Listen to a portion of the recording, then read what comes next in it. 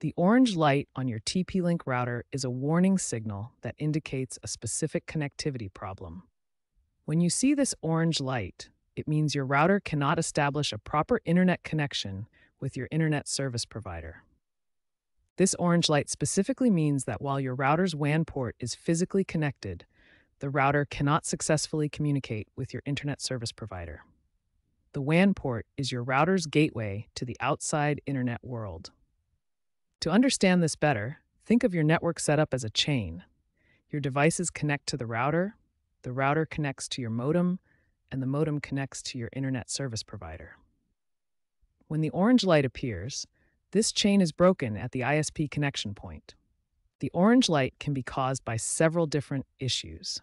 The most common causes include loose or damaged cables, outdated router firmware, problems with your internet service provider, such as outages or maintenance, or incorrect network settings on your router.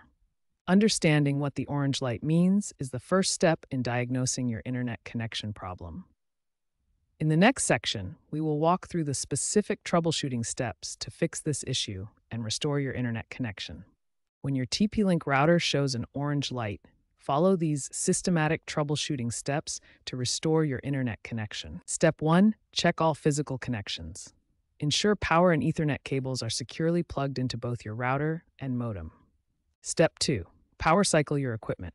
Turn off both devices, unplug them for 30 seconds, then reconnect the modem first, followed by the router. Step 3 Check for ISP outages in your area, then update your router's firmware through the web interface to ensure optimal performance. Step 4. If issues persist, perform a factory reset by pressing and holding the reset button for 10 seconds while the router is powered on. Step 5.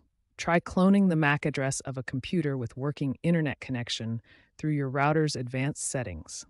Step 6.